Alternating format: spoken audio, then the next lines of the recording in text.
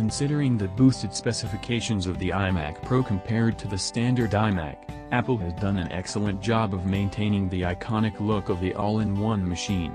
All those impressive components are located behind the 27-inch screen, leading to an attractive, minimalist machine that looks great in any office or studio.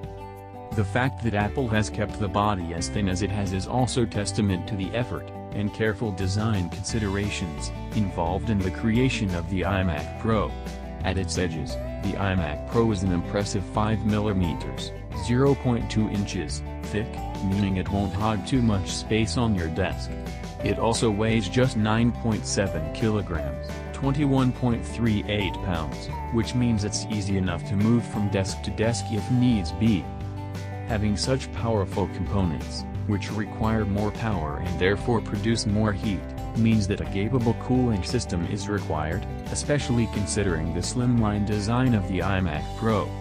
Thankfully, Apple's engineers have created an impressive cooling system for the iMac Pro, with dual fans that help circulate cool air over components, while expelling hot air. In our tests, this did an excellent job of keeping the iMac Pro cool while under a lot of pressure, editing 4K HDR content in Final Cut Pro X, a pretty strenuous task, while also reducing the noise of the fans.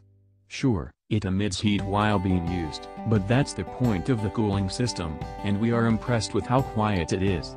With an all-in-one machine that sits in front of you on your desk, you don't want any distracting fan noises while you work, and the iMac Pro does an excellent job of mitigating that.